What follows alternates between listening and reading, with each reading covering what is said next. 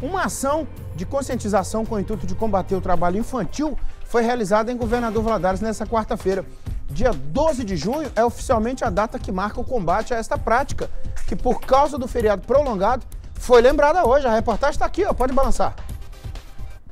Diversas instituições se reuniram para alertar que o trabalho infantil ainda é uma realidade.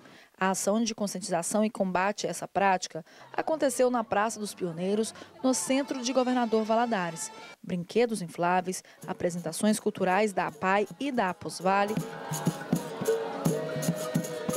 fizeram parte do evento que chama atenção para as comemorações do Dia Nacional de Luta para a Erradicação desse tipo de trabalho. De acordo com os últimos dados disponíveis sobre o trabalho infantil no país, os da Pesquisa Nacional por Amostra de Domicílio Contínua do IBGE, em 2019, havia 1 milhão e 700 mil crianças e adolescentes de 5 a 17 anos em situação de trabalho. Só em Minas Gerais eram pelo menos 288 mil. Isso conforme o FENPET, o Fórum Nacional de Prevenção e Erradicação do Trabalho Infantil. Dia 12 de junho é o Dia Nacional ao Combate é, ao Trabalho Infantil, de combate ao trabalho infantil.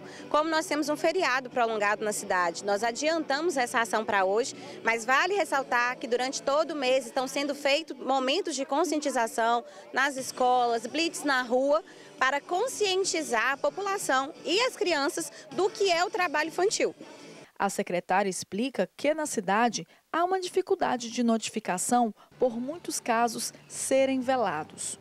O trabalho infantil, na maioria das vezes, a criança está sofrendo outras violações também.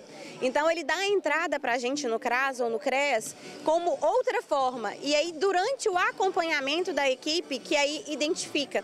Então, não é só trabalho infantil, existem outras negligências. A desigualdade social ainda é um dos principais motores do trabalho infantil.